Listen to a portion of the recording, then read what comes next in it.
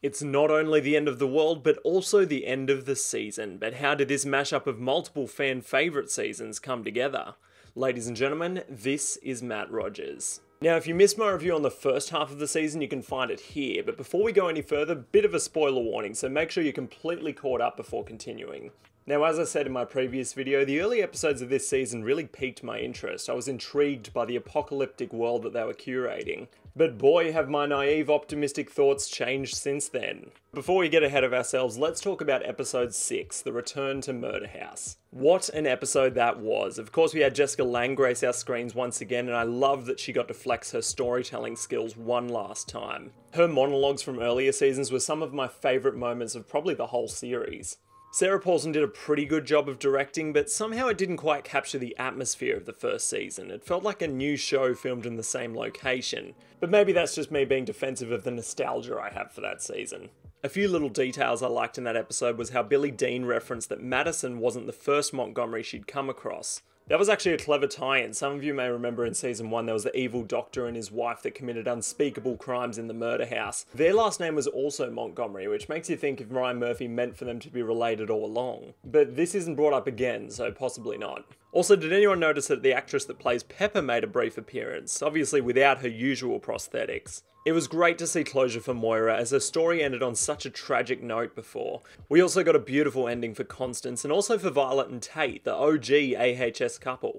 But let's move on to the episodes following. And I don't even know where to start. What an absolute mess. In the latter half of the season, you really need to start bringing together the ideas explored in the first act. But episodes 7, 8, and even 9 continued to bring new aspects to the story. There was that episode where Michael goes to a group of Satan worshippers to find his path, and all of a sudden Kathy Bates is a robot, which I still don't understand why she just couldn't be human. Her death had no purpose, and her being an android added nothing to the story. And why do Kathy Bates' characters always end with a severed head? We of course meet the dudes that create her, and I didn't think I'd say this, but at this point I was like, come on, we're allowed to use some other actors. I love the main cast as much as the next guy, but you can't just keep popping wigs on them and developing brand new characters, especially this late in the game. But what made me throw my hands up in the air was the moment they mentioned the word Illuminati. Is that a joke? What has this show turned into? The last few seasons were different, but I still love the series as a whole. But this is an American horror story. By this point, it turned into some sort of light-hearted horror comedy. Problem being, none of this was scary, and none of it is funny. They even had mass killings, which killed off some of the key characters. There was no tension building, there was no shock factor, and again, the characters' deaths just meant nothing. But I'll give it a break for a second, and I do want to appreciate Michael as a character. I honestly feel like Cody Fern has seamlessly fit into the long-time established cast, much more than Leslie Grossman and Billy Eichner have. And I loved Paulson as Miss Venable, apart from when those two talked to her about the looming apocalypse and the Illuminati, and she just accepted it as fact and didn't even question such an outrageous proposal.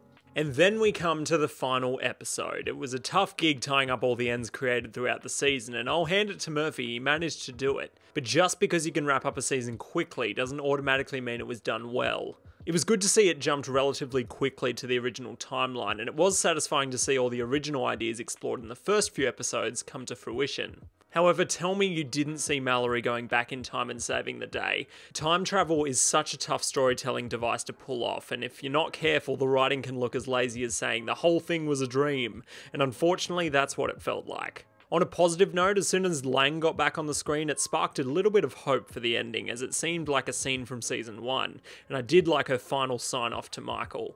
Plus, it was refreshing to see some familiar faces from Coven, such as Marie Laveau, as brief as a cameo as that was, Madame Delphine, Nan, and Papa Legba even made a brief appearance in a previous episode.